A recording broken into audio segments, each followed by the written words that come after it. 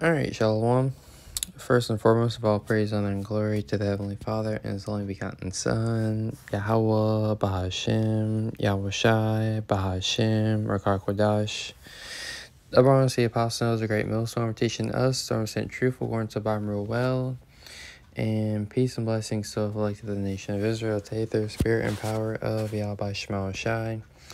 Going into the Lord's willing edifying lesson on how here in America, the land of our captivity, you know, as we read here in Baruch, uh, chapter 3, uh, verse 8, it says, Behold, we are yet this day in our captivity, where thou hast scattered us. Yeah, so we were scattered, you know, because of our disobedience, because we sinned against Yahweh Shema Shah, we were kicked out of the, the Holy Land, the Promised Lands. You see, and right now we are a reproach and a curse and to be subject to payments, right? So we're a reproach, you know, we're the scum of the earth in the eyes of these nations, you know, so called Negroes, Latinos, and Native Americans, you know, we're under the curses written in Deuteronomy, the 28th chapter, and throughout the Holy Scriptures and we're subject to payments. You know, we're captives here under Babel and under, you know, in America, you know, which is Babylon the Great in the Holy Scriptures, right? According to all the iniquities of our fathers which departed from the Lord our God, right? All because we're here to pay for our iniquities, our sins, you know, sin upon sin. That's what iniquity is, right? Which we have sinned against the Lord, right? But in the land of our captivity, Yahweh Shai, you know, would, you know, would give us, you know, this grace period which we are under, you know, for us to what? Arise and depart out of the ways of the society. You know, we've been given grace to come back into his good gracious, right? To return unto him. So when the Lord would bring, you know, deliverance and salvation, you know, we may be partakers of that. This is a Micah 2 and 10, arise ye and depart, for this is not your rest, right? So we're supposed to arise mentally, you know, and spiritually out of this place, right? Arise from the dead, right? As it tells us here in Proverbs uh, 21 and 16, the man that wandereth out of the way of understanding, right? And our people, they have wandered out of the way of understanding, you know, out of the ways of Yahweh Shema Shai, keeping the Lord's commandments, right? They are lost, you know. Our people are a bunch of lost souls. They don't know what's good for them. You know, they, uh, they're always, you know, in the worst predicaments, right? Because they have wandered out of the way of understanding. So the man that wandereth out of the way of understanding shall remain in the congregation of the dead, shall remain in the congregation of the dead. The dead represents these heathen nations, you know, their ideologies, their philosophies. You see, our people who refuse to repent or refuse to arise out of America are going to remain here. You know, when this place is destroyed in thermonuclear destruction, they're not going to be caught up, you know, and be delivered when Yahweh Shai comes back with the holy angels, right? This is uh, Micah 2 and 10. Arise ye and depart, for this is not your rest, right? And the rest that this is not, you know, is speaking about is America, and it's going into the way of life that this place promotes is not our rest. You know, we're not supposed to be, you know, eating shrimp, pork, crab, lobster. We're not supposed to be celebrating our birthday, you know, celebrating uh, pagan holidays. You know, we were supposed to use, you know, America, you know, as a reflection, you know, and see the wickedness that are going on and be like, nah, I don't I don't want to be partakers in this. You see, I want what Yahweh Shema Shai is promising us. So we have to arise in the part, you know, which is the spirit of Yahweh Shema Shai that quickens us, that makes us alive, You know, us coming back to the ways of the Lord is teaching us what it means to truly be alive again, right? It says, Arise ye and depart, for this is not your rest, because it is polluted. That's right, this place is polluted and has polluted the minds of our people. It says, It shall destroy you, even with the sore destruction, and us, you know, as a nation being destroyed in America, polluting the minds of our people. You know, you have a woman's lib, you know, you have the women of our nation they want to be uh, a harlot in the streets. You have the men of our nation who want to be, you know, irresponsible and effeminate, you know, which that's all going to lead, you know, to their destruction, you know, as Yahweh Shema Shai, you know, he requires his nation, his people, to be of a certain uh, mindset, a certain status, a certain caliber of people down here upon the earth. And that sword destruction is going to be that thermonuclear destruction. You see? This is a uh, Colossians 3 and 1, right? It says, If ye then be risen with the Mashiach, right, as we are supposed to arise out of this place in the ways of Yahweh Shema Shai, these teachings, you know, they, they, they elevate, you know, our vibration. They elevate, you know, uh, you know, who we are. You know, it's it's it's a way of life. Let me get um a precept on that. This is um we get Saint John, right? The sixth chapter, since I quoted it. This is um Saint John uh chapter six and and we'll get Hebrews, the fourth chapter as well. I want to get that one. This is uh, Hebrews 6 and 63. I'm sorry, St. John 6 and 63. It says, Is the spirit that quickeneth, right? The spirit of Yahweh Shai, it quickens us, it makes us alive. The flesh profit nothing. The deeds of the flesh don't profit us as a nation, you know? Us following after the flesh the carnal men, right, is why we're in this predicament today.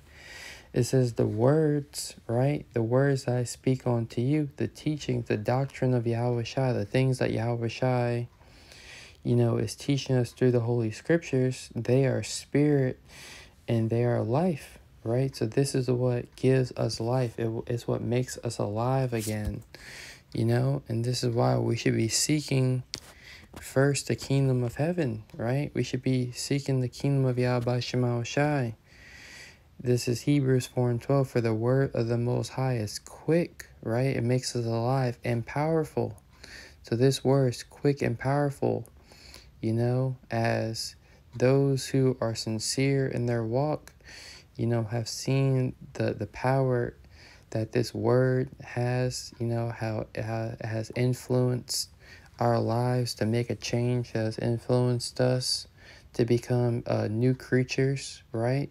For the word of the Most High is quick and powerful and sharper than any two-edged sword. This this is the most powerful weapon on the planet Earth. You know, the power uh, to elevate your mind. You see, and elevate, you know, your spirit out of you know the the death that's all around us, the, the sin that's all around us here in America. And that's why the wicked elites of the society and these other nations, you know, uh, did everything they could to make sure we didn't know who we were, you know, to make sure that we didn't have a connection with our power. You see, because this is strong. This this is better than any uh, uh, uh, arts of war that you may have. You know, it says, piercing even to the dividing of sunder of soul and spirit, and the joint of of the joints and marrow, and is a discerner of the thoughts and the intents of the heart, right? This word tries your, your mind to see if you're really going to be about serving Yahweh by Shema Shai or not, right? before we go back to Colossians, right, let's go to the book of Matthew's, uh, the sixth chapter, and then we'll close out on Colossians. Matthew 6 and 19 it says lay not up for yourselves treasure upon earth right? So we as you know the believers of Yahweh Shema Rashai you know we know that we shouldn't be lay, laying up treasures upon the earth you know trying to you know build a career get a 401k right? Uh, get all these things you know to leave to our to leave to our children right it says, Lay not up for yourselves treasures upon the earth. And we know not to do these things because America is not our rest. America is going to be destroyed in thermonuclear destruction in World War III. It says, Lay not up for yourselves treasures upon the earth, right? Riches upon the earth, where moth and rust doeth corrupt. And you see that, that moth, you know, yeah, you know, that moss and that rust is corrupting via, you know, this inflation. As if you have, you know, the best example I can give, you leave a moth, right? Moth inside your closet will eat at your clothes, right? So, uh, the, the, the inflation in society is eating at everyone's bank accounts, right? It's eating at their dollar, right? It's eating at their, their life savings, right? And we're thieves break through and steal, right? Thieves can come and steal your goods as that's what the elites of society are going to do. They're going to break into your bank account, crash the system, and steal everything that you've been working for to where your labor is going to be in vain, right? And this is um real quick. This is a uh, Colossians. I'm sorry, Wisdom of Solomon uh, 3, and we'll go straight to the point. Wisdom of Solomon 3 and 11, for whoso despises wisdom and nurture, right? So whoso despise, that word despise means to hate wisdom, and the wisdom, knowledge, and understanding of the Holy Scriptures is where? On the highways and hedges, week in and week out, where you have brothers teaching every week, right? The apostles since you know, and their teachers since the late 60s, early 70s, preaching the word, right? To nourish you, you know, to build you up in the spirit and power of Yahweh Shema Washai. So those that hate wisdom and nurture, he is miserable. You see, their and their hope is vain. The things that you hope for in society, your expectation, because that's what hope is. Hope is that expectation is vain it's going to lead to nothing. It's going to lead to you being uh, C-hipped, right? Which is the MOT to the B when they bring in this new digital system, right?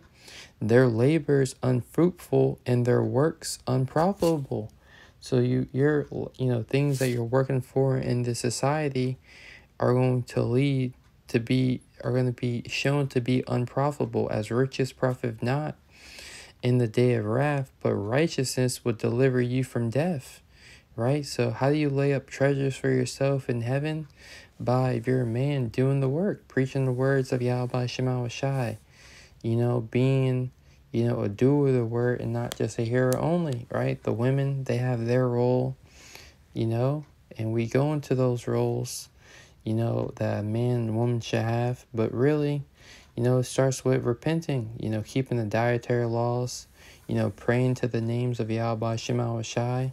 That's how you're laying up for yourselves treasure in heaven, Matthew 6 and 20. But lay up for yourselves treasures in heaven, right? Riches in heaven, the world to come. You see, we're investing our time and our energy into the world to come.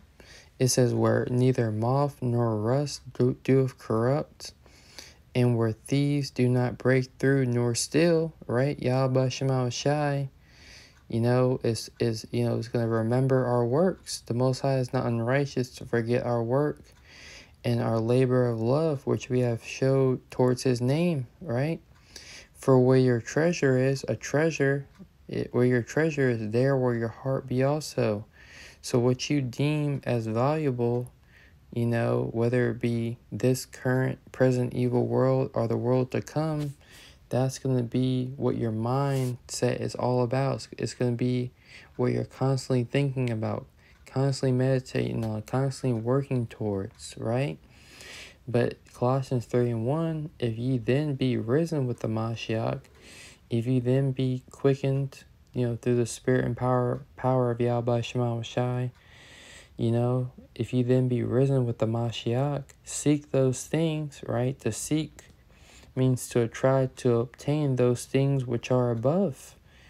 And what are those things that are above? You know, uh, uh, the wisdom, knowledge, understanding of the scriptures, which, you know, the, the Heavenly Fathers, you know, via Yahweh Shai, via the Holy Spirit, is sending down from the heavens. You see, because the kingdom of heaven is going to be here upon the earth. So the things that we're seeking that are above is the wisdom, knowledge, and understanding of the scriptures. It says, Where a Mashiach, which is the Messiah, right, sitteth on the right hand of the Most High. Set your affections, things you deem as valuable, right, on things above, not on things on the earth. You see, as we know, this earth is going to pass away. It says, For ye are dead, right? So we're dead to this world. For ye are dead, right? We're dead to this world. You know, that's why we, uh, you know, distance ourselves from uh, family members, loved ones, you know, uh, children, wives, anything that uh, tries to hinder us from, you know, preaching the words of Yahweh Shema Shai, anything that tries to hinder us to being dedicated to Yahweh Shema Shai. It says, For ye are dead, and your life is hid with Yahweh Shai in the Most High. So our life is hid with Yahweh Shema Shai. When Yahweh Shai, you know, Mashiach, who is our life, shall appear, then shall ye also appear with him in glory. So when Yahweh Shai returns, then we'll be able to truly live. You know, and that's why we're constantly meditating you know, upon the kingdom. That's why we're constantly, um, you know, hasting his coming, while we're constantly watching for the prophecies, you know, the signs to lead back to the Lord's return. Because then that's when we're going to have, you know, you know, our time to rule. That's when we're going to really, you know, live, right? This is uh, Second Peter 3 and 1. I'm sorry, Second Peter 3 and 11. We'll close out. It says, Seeing then that all these things shall be dissolved, you know, America, everything's going to be uh, melted, everything's going to be burnt up. It says, What manner of persons ought ye to be?